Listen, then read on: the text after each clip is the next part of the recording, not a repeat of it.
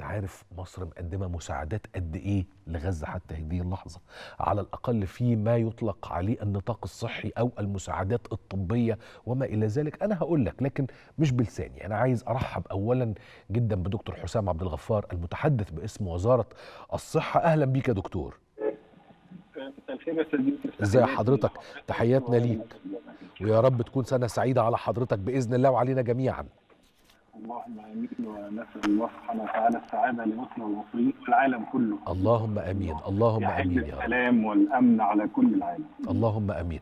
دكتور حجم المساعدات اللي بتقدمها مصر عن طيب خاطر واعمالا لدورها الإنساني اولا وكدولة جوار ثانيا وكدولة كبرى في الإقليم بالدرجة الأساسية حجم المساعدات اللي بتقدم لفلسطين قد إيه تقريبا؟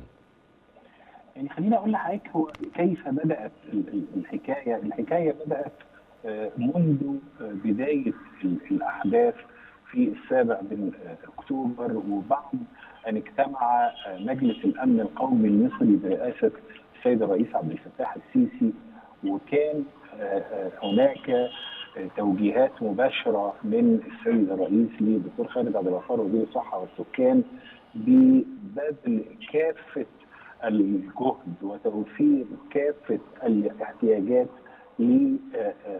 للقطاع الصحي للأشقاء في قطاع غزة.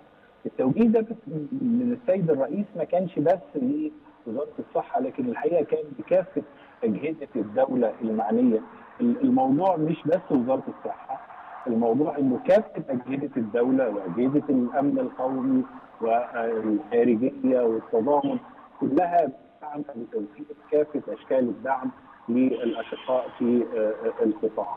ويمكن البداية كانت الحقيقة من الشعب المصري اللي عمل حملات من خلال التجمع الأهلي الوطني والجمعيات الأهلية بالقوافل اللي اتحركت للقطاع من خلال معبر رفح بما فيها من مساعدات تشمل اغذيه، تشمل أدوية، تشمل بطاطين، الحقيقة ده كان يمثل أكثر من 60 إلى 70% من حجم الحافلات اللي عبرت المعبر هي من مصر ومن أهل مصر ومن الدولة المصرية. ده غير الجانب الطبي اللي يمكن حضرتك ذكرناه في الفيديو الخطة التي تم وضعها للتعامل مع الأحداث الصحية بداية من تشكيل غرفة الأزمة في وزارة الصحة اللي بتنعقد يوميا لمتابعة وصول العابرين عبر المعبر سواء كانوا من حاملي الجنسيات المختلفة أو من الأشقاء الفلسطينيين المصابين أو الجرحى أو اللي عندهم أمراض مزمنة. إحنا الناس بتتكلم بس على الجرحى لكن الحقيقة مش بس مصر استقبلت أعداد كبيرة من الجرحى والمصابين لكن كمان استقبلت أعداد كبيرة من اللي عندهم أمراض مزمنة. يمكن أشهر حاجة كانت الأطفال اللي كان عندهم أورام أو الأطفال المصابين بالأورام بعد أن تم قصف مستشفى. التي تعالج الاورام في القطاع الأطفال دول تم استقبالهم واستقبلناهم في مصر وتم بتوجيه من السيد الرئيس عبد الفتاح السيسي وتم تحويلهم أو علاجهم وبيتم وما زال بيتم علاجهم في مستشفيات الأطفال المتخصصة في مصر. النهارده بنتكلم على أكثر من 36 مستشفى مصري سواء في شمال سيناء أو بره سيناء في البورسعيد في الإسماعيلية في القاهرة في معهد ناصر في مستشفى الشيخ زايد في في في مستشفيات مصر بتتعامل مع أكثر ما حضرتك من 36 مستشفى بتتعامل مع المصابين بطواقم طبيه يعني أكثر من 35 ألف من الطواقم الطبيه ومع حالات في منتهى منتهى التعقيد. إحنا ما فيش حالة واحدة من الحالات المصابة يمكن أن يعالجها تخصص طبي واحد. كل الحالات بتحتاج إلى أكثر من تخصص. أحيانا بتصل إلى سبع أو ثمان تخصصات من الجراحة العامة، جراحة التجميل، جراحة العظام، جراحة طب العيون، الحروق، العنايات المركزة، كل جراحة الأوعية الدموية جراحة المخ والأعصاب. الحالات دي الاستشاريين دول بيتجمعوا كلهم للتعامل مع مصاب واحد أو مريض واحد من مدى صعوبة الحالات التي نتعامل معها.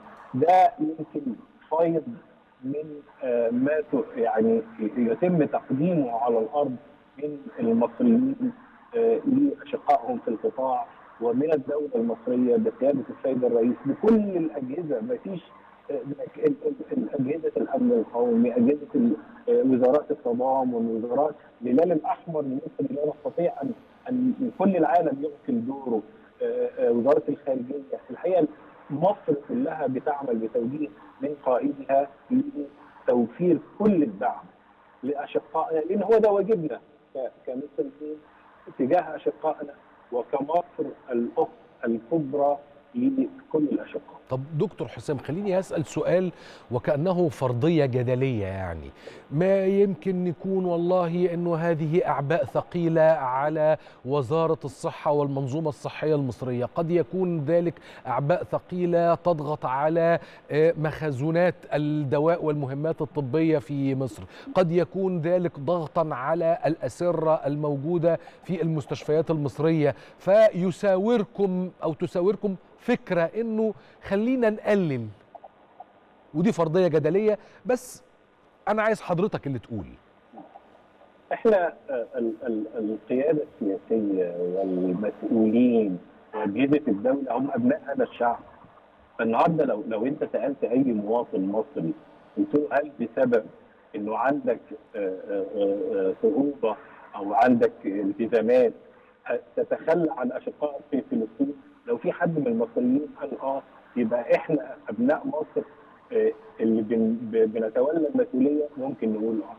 فندم إحنا إحنا أبناء هذا الشعب والشعب كله عنده الحرص على دعم الأشقاء في القطاع والحمد لله إن الدولة بقيادتها بالسيد الرئيس بوزارتها بأجهزتها كلها بتتحرك وفق ما يريده ويستشعر به المواطن المصري. هو المواطن المصري عنده استعداد يتخلى عن اشقائه لا أعتقد.